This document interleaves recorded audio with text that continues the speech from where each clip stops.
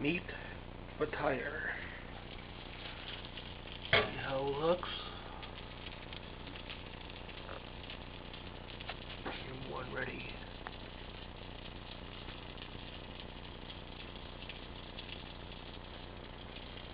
Make some more.